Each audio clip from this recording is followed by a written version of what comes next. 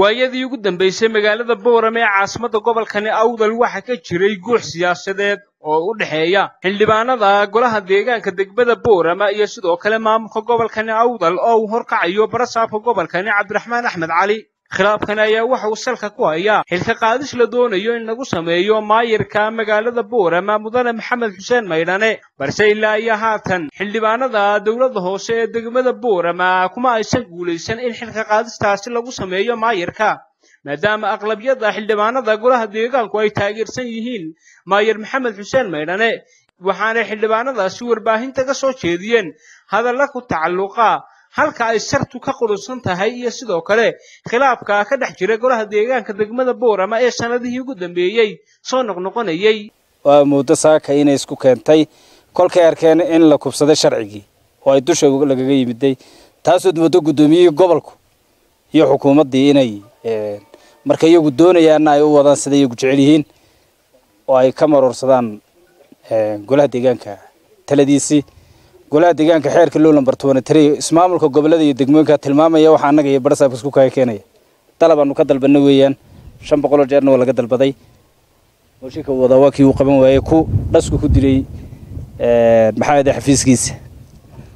Maaha hadday soo geli waayo waan xidhayaa in saaka bilays qabaallaa oo ah kuwii aynu amniga ku sugayna inu kula dagaalamayna argagixisada iyo wixii amniga waxyeelaya in golihii deegaanka ee degmada sida xortaa iyo xalaashaa loo soo doortay. In saaka loo soo diraa waa edab darro waxa weeyaan golaha deegaanka ee degmaduna uu madax bannaan yahay. Cid alla jargarayn kartaana ma jirto. Waxaana isku keentay maanta waa dan sida awalba horeba iskugu iman jireen. Kalfadhigooga ayay iskugu imaneen mataqaanaa iyo kulanadooda gaarka ah. Maantana dantii unbaa isku keentay. Waxaan dhammaantay ka midaysan lahay inuu golaha deegaanku xor yahay.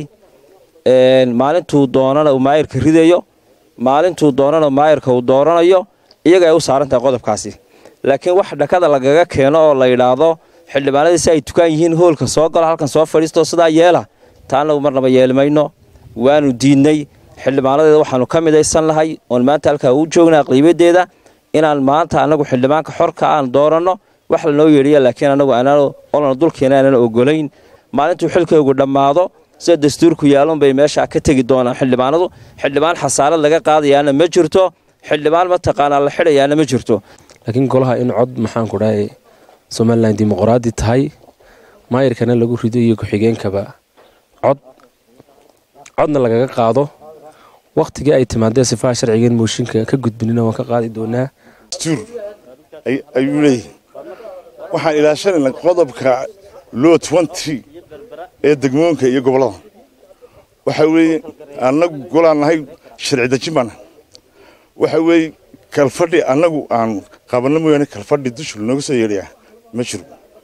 Waxaan leenahay ma ogolin wax dusha lanooga soo yeedhiyo. Si xora ayaan annagu u dooranaa maayarka. Si xornaan ugu qaadanaa laakiin marna ma aqbali doono wax dusha lanooga soo yeedhiyo. Waxaana ilaashanaynaa sharafta iyo karaamada bulshadu ay noo doorato hana naga daayo fadqalalaha korka lanaga keenayo waxaana leenahay taa haddii laga deen waayo waxaa ka baxayama sharciyadii magaaladan ha laga daayo qaska iyo buuqa ay xukuumadda xagga sare ay kaga wado waxaan halkan iskugu imanay oon ka midaysannahay inteeda xildhibaan ee halkan joogta. Dhawaaqaa ka soo yeedhay xukuumadda. Waxa aan leenahay golaha deegaanka ee boorama waa xor. Kulley annagaa dooranay maayir iyo ku-xigeen annagaana bedeli doona hawsha a wado badho saabku boorama waxaan leenahay. Hawshaasi waxay ku xidhan tahay gacantayada. Iyo markii annagu aan ka tashanno hawshaa waxaan leenahay dib baad ula noqon. Maxamed xuseen maydhani duqa degmada boorama ee la doonayo in xilkaasi laga qaado ayaa isaguna waxa uu ka hadlay xilka qaadistani la doonayo in lagu sameeyo. Iyo sababaha ka dambaysa ayaa waxa uu tilmaamay. Halkan uga mahad celinaya xildhibaanada golaha deegaanka degmada boorama oo runtii gartay waajibaadka saaran iyo sharafta ay huwan yihiin iyo mas'uuliyadda ummaddooda u hayaan. Runtii waa wax lagu farxo runtii waxay ilaaliyeen karaamadii gobolka awdal tii degmada boorama iyo tii sharciga u lahaayeen xaqa u lahaayeen bay xildhibaanadu ilaaliyeen. Runtii goluhu ummaddaa dooratay iyagaana isdoorta si xor iyo xalaalan isku doorta. Maaha mid qasab halkan ku soo galo oo ku doorta cid la yidhaahdo. Wax dusha nagaga keenana ma aqbalayno dadweynaha degmada ku noolna waxaan u sheegaynaa. Inay isdejiyaan nabadgelyada ilaaliyaan waxa maanta halkaa laga sameeyey oo badho saabka gobolku ka sameeyeyna waa wixii ummaddu kicin iyo abaabul iyo dil iyo nabadgelyo darra badho saabku ka abuuray degmada. Waxaan u sheegaynaa madaxweynaha jamhuuriyadda somalilan iyo madaxda qarankee kaleba inuu ninkaasi sharcigii ka soo tallaabsaday. Sharcigu hadduu shaqayn waayena dee badho saabna ahaan maayo. Degmadan golaa loo doortay. Golahaasaana xaq u leh inay cidda mas'uuliyadda iyagu dhiibanayaan ma aha xayawaan goluhu dad waxga loo yeedhiyana maaha. Waa dad ilaahay karaameeyey oo ummaddani soo dooratay oo degmadana uu soo dooratay iyagaana mas'uuliyaddeeda leh. Cid qasbi kartaana ma jirto. Kastaba ha ahaatee muranada iyo khilaafaadka dowladda hoose ayaa waayadii dambe soo noqnoqonayey iyadoona arrinta ugu muhiimsan ee laysku hayaayna ay tahay.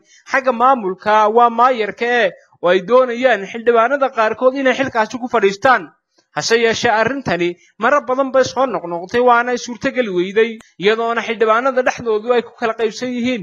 Cidda ay xilkaasi u dhiibanayaan waxaana xusid mudan in arrinta ugu weyn ee haatan ku cusub golaha deegaanka degmada boorama ay tahay in maayarka magaalada boorama laisugu daro laba arrimood oo isbarkan oo ah xilka qaadis iyo sidoo kale in xasaanada laga qaado maadaama ay arrintan ay ku jiraan kooxda hantidhowrka qarankani somalilan ee odhodka loo yaqaano kuwaas oo baadhid iyo dabagalba ku hayay maayarka magaalada boorama xildhibaanada aqlabiyadda degmada boorama ayaa waxay ku gacan saydheen in gebi ahaanba xasaanada iyo xilkaba laga qaado maayarka magaaladani buurama waa nuux kadiya telefishinka caalamiga star buurama